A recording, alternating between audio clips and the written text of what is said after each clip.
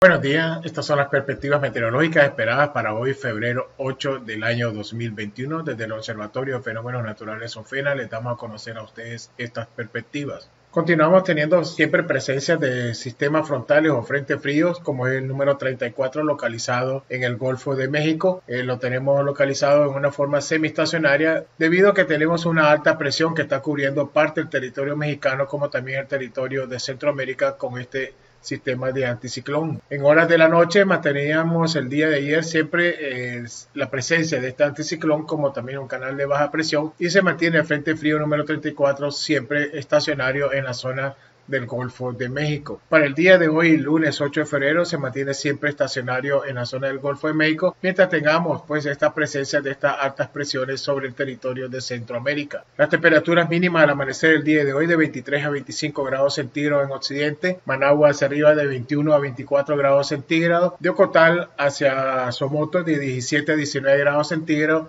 Estelí, Matagalpa, Jinotega de 16 a 18, de Huaco hacia San Carlos de 20 a 23 grados centígrados, Triángulo Minero de 17 a 22 grados centígrados, de La Yote hacia San Carlos de 22 grados centígrados y en la zona del Caribe de 24 a 25 grados centígrados. Las temperaturas máximas en el occidente promedio entre 32 a 35 grados centígrados, de Managua hacia arriba de 27 a 30 grados centígrados, Ocotal y Somoto 27 a 28 grados centígrados, Estelí Matagalpa y Jinotega de 22 a 25, Buaco de 26 a 29 grados centígrados, Triángulo Minero de 25 a 28 grados centígrados, de La Yote a Nueva Guinea de 26 a 27 grados centígrados y en la zona del, Caribe mantendremos pues temperatura de 26 a 27 grados centígrados. En relación a la ráfaga de viento, el promedio de ráfaga de viento desde la zona de Cotal hacia Huigalpa, como también de Managua hacia arriba, estará un promedio de 61 kilómetros por hora, ráfagas ocasionales y superiores a esta velocidad durante el transcurso del día de hoy lunes. En relación a las posibilidades de precipitaciones, pues algunos chubascos o lluvias ligeras en la zona del Triángulo Minero, como también el Caribe, y se mantienen algunas aisladamente desde la zona de Cotal hacia Huigalpa y de Managua y Notepe algunas posibilidades de algunas precipitaciones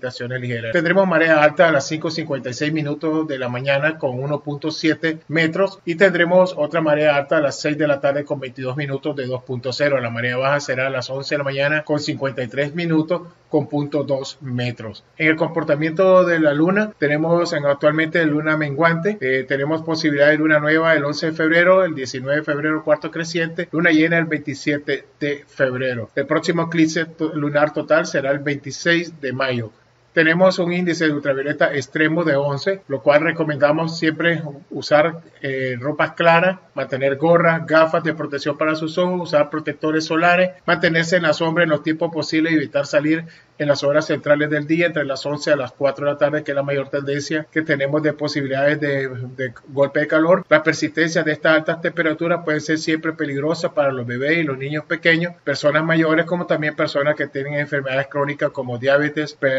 de hipertensión o del corazón. Recuerden siempre usar protector solar, mantenerse en lugares frescos y si en un caso está en algún lugar de bastante soleado, use paraguas como también utilizar las gafas para su respectiva protección de sus ojos. También recordemos que las temperaturas mínimas al amanecer van a estar siempre afectándonos, principalmente a los niños y a los adultos mayores que son más vulnerables y ante los cambios de estas temperaturas. Recuerden que con las fuerzas de los vientos hay que mantenerse siempre de asegurarse eh, la vista con algunos lentes para en caso que tengamos partículas que puedan afectar nuestra visión, alejarse de corrisas como también de muros o de árboles o tendidos eléctricos y si va a viajar, tener siempre precaución en la carretera, informarse siempre con las condiciones meteorológicas que se están dando en la zona que las damos a conocer siempre aquí en Ofena. En relación a los síntomas del COVID, recuerden que tenemos tres síntomas muy característicos, una temperatura alta, tos seca y dolor en la garganta. Si en un caso está usted estornudando, siempre al toser o estornudar, utilice siempre su codo eh, uso pañuelos desechables y depositarlos en los lugares correspondientes, evitar tocarse los ojos, la nariz y la boca y lavarse las manos siempre con bastante agua y jabón.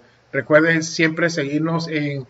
nuestras redes sociales. Le invitamos a visitarnos en Facebook eh, como arroba ofena Nicaragua y también visiten nuestra página web www.ofena.com.ni. Desde el Observatorio de Fenómenos Naturales les habló Agustín Moreira. Que pasen un buen día lunes y buen inicio de semana.